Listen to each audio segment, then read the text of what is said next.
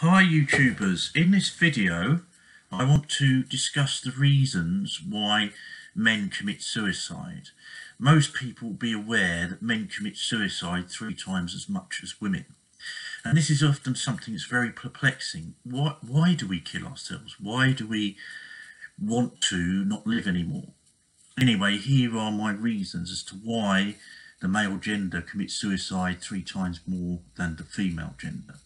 Firstly, social isolation.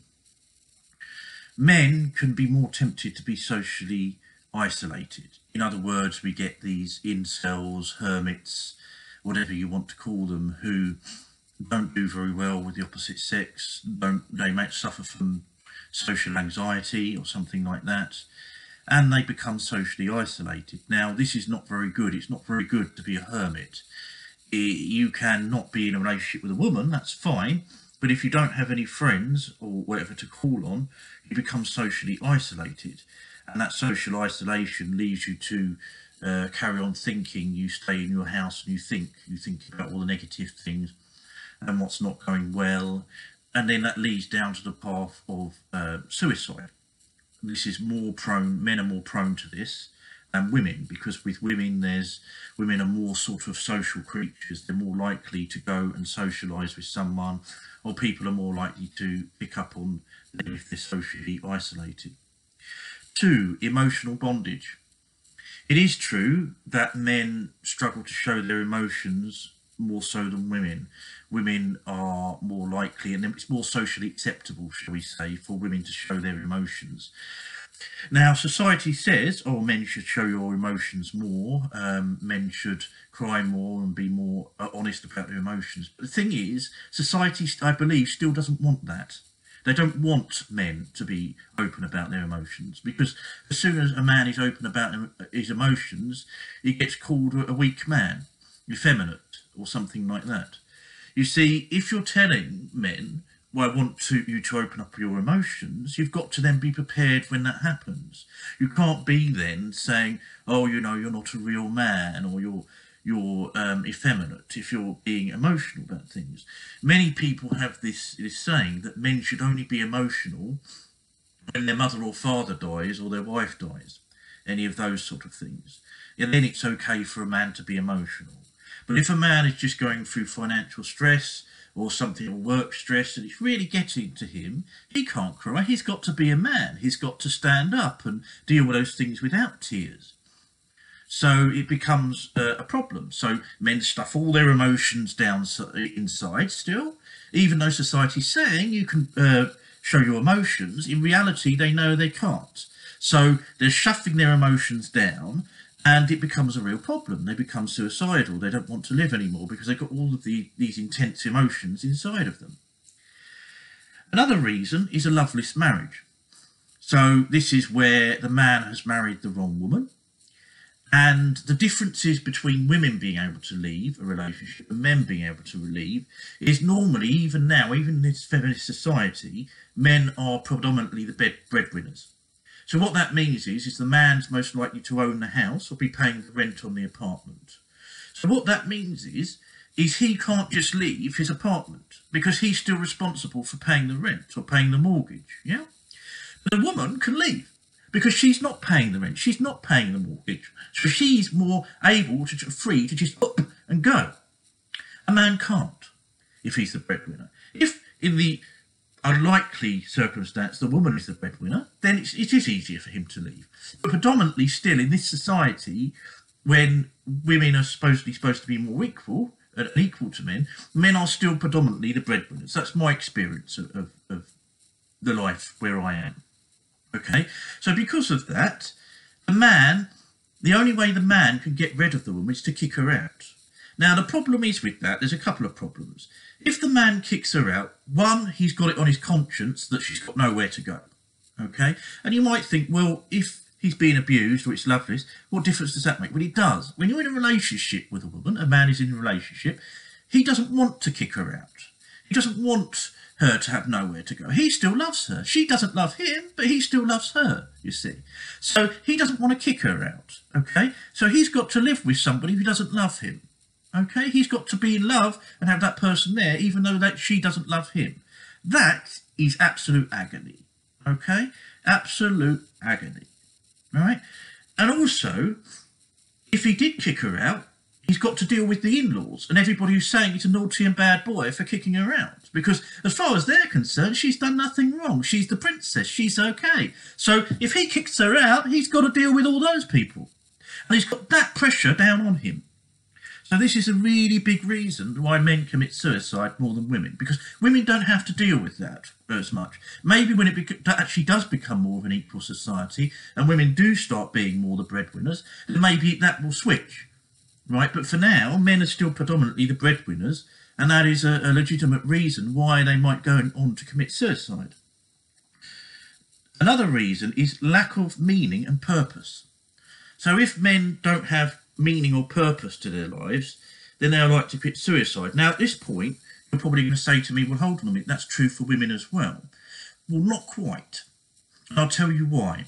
When a woman is born into this world, she's born with a womb. She's born knowing she's a gender that gives birth to children. She is the gatekeeper of reproduction. She knows, even if she never has a child in her life, she knows her gender purpose is to bring children into the world. I'm not saying that's women's only purpose, but that is a major purpose of women. Even if they go on with their careers, never marry, never have any children, that's still the purpose of their gender. One of the purposes is to be the gatekeepers for reproduction. Okay, and also they look much better than men. Okay, they're much better, fairer looking gender. So because of that, that gives a woman innate worth and innate value. Men don't have innate worth and innate value when they are born into this world. They don't. Okay, they have to earn that innate worth and value. So they have to earn it by having meaning and having purpose. Unlike women who don't have to earn that worth, they can just take their worth from the fact that they can have children and that they look much better than men. Okay, but men, I'm not saying they're an ugly gender, but they're they're not a gender that's looked on as great because of their looks. Okay, it's to, it's to down to what a man does, what a man says, and what a man does. Okay, so lack of meaning and purpose is another reason why men might commit suicide. Another one is financial hardship. So um, he's having to balance the credit cards. Perhaps his wife's going and spending all of the money on the credit cards, so on and so forth. See the difference between um, male and, uh, and female financial hardship. Female are more likely to get more help. For example, if a woman is out on the streets, okay, she's more likely to get a council accommodation than a man the average man is the last person on earth that will get a, a, council accommodation if they're homeless. For example, the first people that will get it is a woman and her children. They're the first people that will get council accommodation. The second people is the elderly. Then the third people is, is single women. And lastly is men, single men on their own. So men are going to be homeless. They're not going to get council accommodation because even a single woman would have to wait six to eight weeks without any children, that is, would have to wait six to eight weeks for council accommodation. I know because I've known people that have needed it. So therefore, you know, men are not likely to get any council accommodation at all, not for several months, and by that time they'll probably be dead. So financial hardship is is another one, and because women in marriage still rely heavily on the men to deal with the finances and be uh, the financial head, if things go wrong, he gets blamed by the in-laws and the wife and everybody for uh, causing that financial hardship, and that, that goes down on him then. Yeah. So it's just more weight down on him. Yeah. So six is broken-heartedness. So we know that women, it's a well-known statistic, initiate 70% of all divorces. That means 70% of all men are going to be the ones broken-hearted. Okay, so this broken-heartedness is hard to deal with, coupled with the uh, fact of emotional bondage, causes a very real reason for male suicide. It causes them not want to live anymore, and etc. etc. So broken-heartedness, having their heart broken and smashed to pieces. Okay, not many people take this on board when a man is divorced. They don't come around him and they say, "Oh, you must be completely broken-hearted," or "I'm sorry for that." Particularly if the divorce is maybe his fault. Yes. Okay. Another one: undiagnosed mental health conditions, things like uh, BPD or autism or bipolar disorder. If he's not going to get diagnoses, not going to find out what his health conditions are, then that will be another reason because he won't know why he's acting the way he's acting. I appreciate that reason can be also a reason why women might commit suicide as well. Another one is victim blaming. So uh, let's say a man is punched by his wife in the marriage. He goes to the police. The police laugh at him because he's got no evidence. The in-laws said, "Oh no, no, no, no! My daughter would never do that to you. No, no, no!" And even his parents won't stand up for him, and uh, he gets blamed. So, for uh, another example is when uh, his wife hits him and he instinctively hits her back, which he should never do. But let's say on that, so, so all of a sudden he's the bad guy because he's put his hands on a woman, regardless of what the woman's done to him. He is the bad guy. But people don't take into account that she started it. Okay, she hit him. Now, it's not right to hit a woman in that situation. Even if a woman hits you, it is not right to hit her back. But I understand why some men do it. I understand. Bill Burr done a famous uh, comedy uh, skit on um, around women getting hit, and he said that um, people say, "Oh, women, there's no reason to hit a woman." There is. There's hundreds of reasons to hit a woman. We just don't do it. You just shouldn't do it. There's hundreds of reasons, but you shouldn't do it. You shouldn't hit women. Yeah, because it's irresponsible. Not because there isn't a reason, but because it's irresponsible. As soon as you t- put your hands on a woman, you are, have then lost your battle. You've lost your fight. You know, you are end up being the loser, even though she was in the wrong all the time. Up to that point, you hit her. Yeah. So, you know, what Bill Burr says is absolutely true about that. Um, another one is redundancy. A man gets made redundant uh, from his job because men, they they tend to have this view of work more so than women do. For, the, for men, a man has to work. Work was made for man. Um, but I don't think that's true of women. I may be wrong, and I, I accept if I am wrong about that because I'm not a woman. So if if I'm wrong about that, fine, okay. But in my understanding, in my experience, men love their work. So when they get made redundant, it hits them much harder than, than it hits women. And because everybody's willing more to rally round women in those situations, it's not so much of a suicide reason for women as it is for men. It may be in some circumstances. Look, I'm not saying by making this video that women don't commit suicide or don't have reason to do so. I understand that. But the epidemic is that men commit suicide three times more than women do. Okay, and that's why I'm making this video. I'm not making this video to say, oh, there's no pain that women go through. Women go through a lot of pain. And uh, there's many women who will try to take their lives or succeed in taking their lives, and that's awful.